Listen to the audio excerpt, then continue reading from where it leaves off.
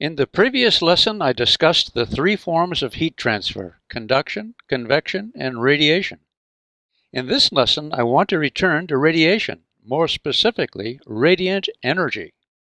I want to tell you something about the relationship between the frequency of a wave and the temperature of the substance emitting it. Mathematically, F proportional to T which says that the frequency of emitted radiant energy is directly proportional to the absolute temperature of the emitter. Frequency here refers to the peak frequency, corresponding to the most intense radiation emitted, hence the bar over the symbol for frequency.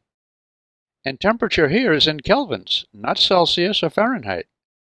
You won't need these details unless you're solving problems. The important point is that the frequency of radiant energy is directly proportional to the temperature of the source. That says a lot. Consider a light in a dark room. With no current in the bulb, you can't see it. The radiation emitted by the filament in all parts of the bulb is below your threshold of vision, called infrared. Now gradually apply some current to the bulb and increase the temperature of the wire filament. You see a dim red. Make the wire hotter and the red turns to a bright orange, then yellow, then a jumble of frequencies that blend to produce white. A white hot filament is hotter than a red hot one. The higher the temperature of the emitter, the higher the frequency of radiation emitted. This is yum information. The proportion of F to T is applied to today's infrared thermometers. Just point it to an object and the device converts infrared radiation to a temperature reading.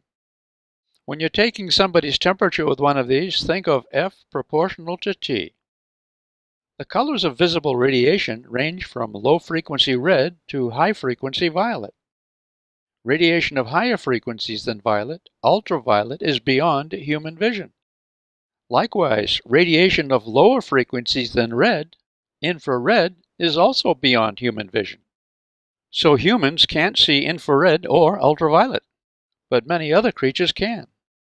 Different strokes for different creature folks.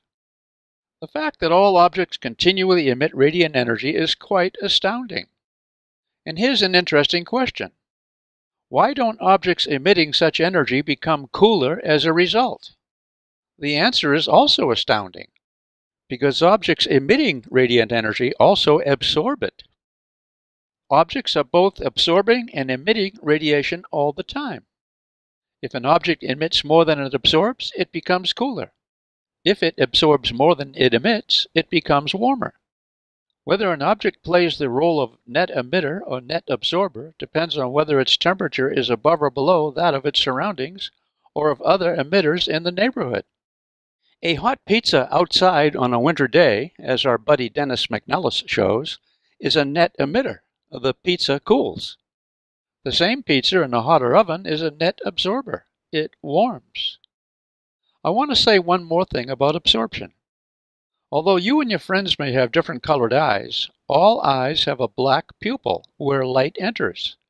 Why black? It's because light that enters becomes absorbed inside. None reflects back through the pupil. This is nicely demonstrated by my former student, Helen Yan. We see Helen when she first took my physics class at City College. The hole in the box looks black, even though the interior is a bright white. Almost no light that enters the hole after multiple internal reflections comes back out. And here we see Helen more recently showing the same box. Helen is one of my merit badges in teaching. She has since become a rocket scientist and monitors hotspots on Earth's surface via infrared photography from satellites in space. She is also a part-time physics instructor at City College of San Francisco, teaching the same course she took for me years ago. A big yum to that. In this brief lesson, there's scarcely time to talk about how radiant energy gets through the glass in a florist's greenhouse.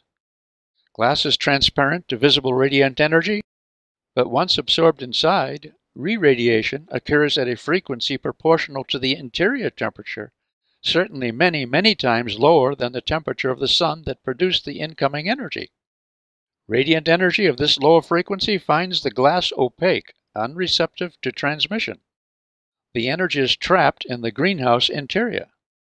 good for florists. But not so good with greenhouse gases in the atmosphere, which similarly trap heat energy in the Earth's atmosphere, so temperature builds up. This happened some 4 billion years ago with planet Venus. Carbon dioxide built to a tipping point, where runaway warming produced a surface temperature that melts lead. Climate change here on Earth is controversial at this time. I have one question I don't hear put this way.